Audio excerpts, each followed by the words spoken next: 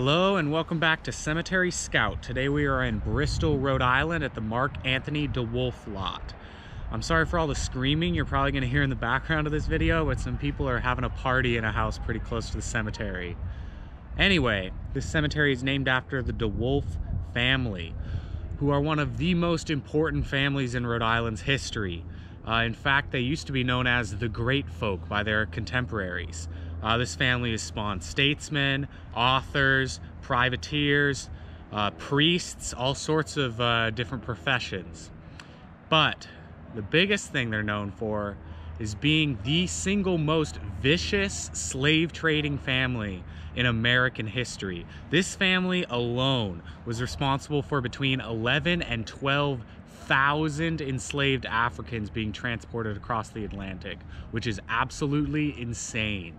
All right, so uh, in case that fact didn't clue you in, uh, this episode might be a bit of a bummer. But even besides the actual graves in here and the family's history, who they represent, the cemetery is set up in kind of a wild way. I really got to show you guys just the way everything's lined up in here.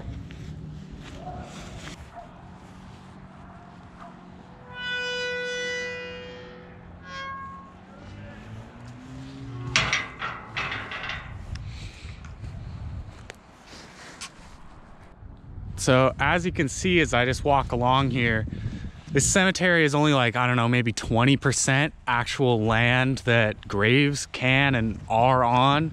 Everywhere else is pretty much just like wild landscape. There's a lot of trees, there's a lot of branches, and I don't know, maybe there could be some graves back in there, but in my research, I didn't see anything indicating that there would be, and I don't see any just kind of looking. So uh, this whole enclosed space by this rock wall here really only encompasses just a teeny little bit of actual graves.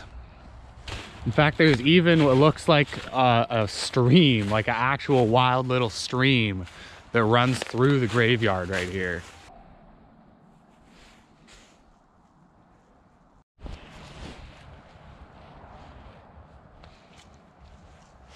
Okay, so I was able to find a little bit of information about quite a few of the DeWolfs in here, but it's mostly just kind of their professions, how they died, who they're related to, stuff like that. So I decided I wanted to make the focus of this video on Captain James DeWolf, who has his own separate path, his own separate tomb, and his own separate gigantic burial mound.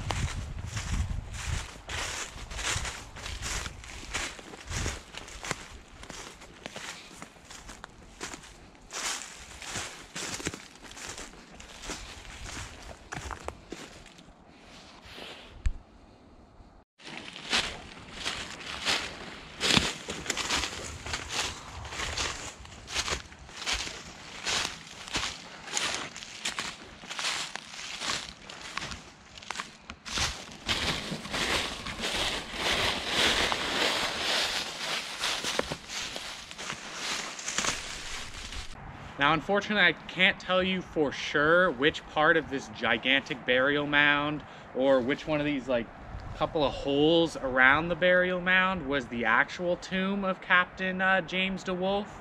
Uh, mostly because his grave has been robbed numerous times uh, since he was put to rest a, a couple centuries ago. Mostly because he, at the time of his death, was the second richest man in all of the United States.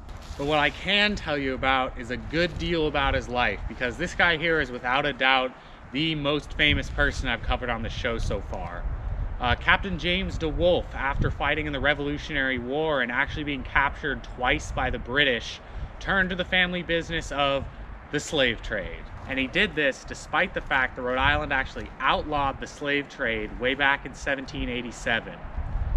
Meaning that this guy, for decades, illegally participated in the slave trade, allowing his family to fund and operate rum distilleries, textile mills, uh, insurance companies, banks, and a whole host of other industrial pursuits.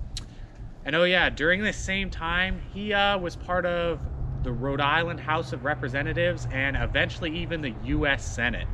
Yeah, that's right, a sitting elected official at the time of his service was funding an illegal slave trading empire. At least allegedly, because some people still contend that he severed all ties with the business after entering government, but the common consensus is that he was still involved. But despite this long history of building wealth off the illegal sale of human beings and a long political career, one incident in particular is the most famous of James DeWolf's life. Once in 1791 in Newport, Rhode Island, and then again in St. Thomas in 1795, DeWolf was indicted for murder. Both of these cases stemmed from the same incident that happened aboard his uh, slave trading ship, the Polly, back in 1791. According to testimony, an African woman that DeWolf had been transporting across the Atlantic on his slave trading ship had become afflicted with smallpox. Now, after trying to prescribe some treatment for the smallpox, DeWolf's ultimate solution to the problem was to have the woman tied to a chair, blindfolded, and lowered into the Atlantic to drown. DeWolf's defense of this act was that he was saving the rest of the ship from contracting the disease. And this defense saved him from prosecution in both cases, with the judge advocate in the second case saying, this act of James DeWolf was morally evil, but at the same time physically good and beneficial to a number of beings. And while I'm reading you legal documents, I wanted to mention a passage from the original indictment back in 1791, just because I like all the little flourishes that were added around the legal language. James DeWolf, not having the fear of God before his eyes, but being moved and seduced by the instigation of the devil, did feloniously, wilfully, and of his malice aforethought, with his hands clinch and seize in and upon the body of said negro woman, and did push, cast, and throw her from out of said vessel into the sea and waters of the ocean, whereupon she then and there instantly sank, drowned, and died.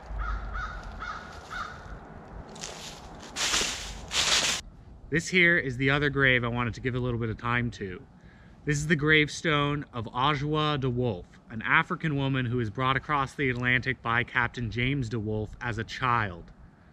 Now Ajua was brought across with another little boy named Polydor. They were brought across as a couple and eventually married. These two were intended as a Christmas present for James' wife, Nancy. They remained enslaved by the DeWolf family until slavery was outlawed in Rhode Island, in which case they continued to live on the DeWolf's land and work for them. Now, from what I've read, Ajwa and Polydor had a heavy hand in raising a lot of the children of the DeWolf family, to the point where there's even a nursery rhyme about them that is still known to some of the descendants of the DeWolf family today. It goes, Ajwa and Polydor sitting in the cellar way. Down fell the cellar door. Bump went Polydor. Up flew the cellar way. Off blew Ajwa. I don't know about that one, guys.